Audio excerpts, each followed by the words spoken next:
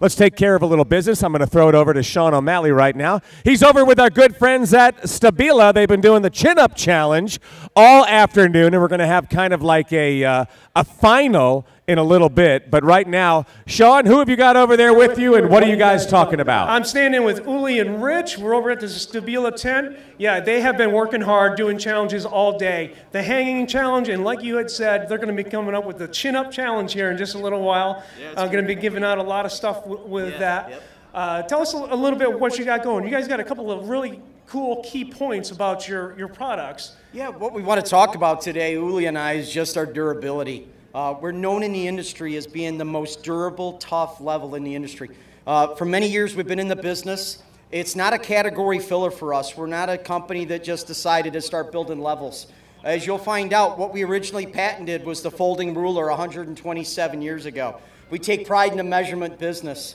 Uh, what we're holding here is the R beam. What these levels are is 120% stronger than a standard box beam level. What it's designed to do is take everyday abuse that we would normally encounter. If you look at the position of our vials, we've raised the vials so Mason can read them without looking at the bottom.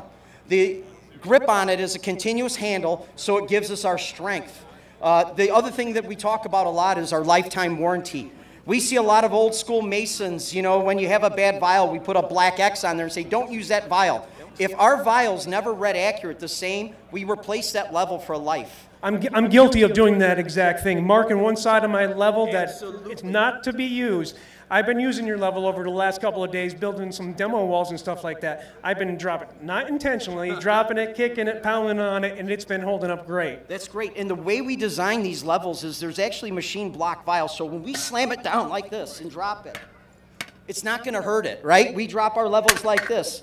What you'll notice is the vials don't pop out. Our competitors' levels, when you drop a level this way from 15 feet, you're going to knock the vials right out of them. So we drop them like this. It's not going to do anything. Well, we, we do know that the levels can slide out of a guy's hands. I mean, the, your hands get sweaty, you drop them on occasion. You need these levels to be built with durability. You guys have done just that. Uli, you got some other features that you wanted to mention too. Yeah. Uh, John, first of all, congratulations to the 15th anniversary of the Spec Mix.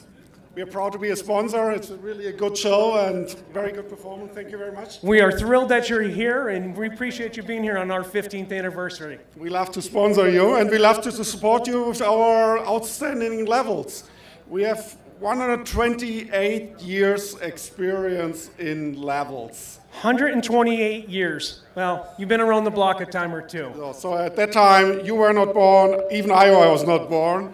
So there are three, four generations of people just doing levels. Yeah, that's our that's our live, that's our life. We, we do levels for, for, for all of our life.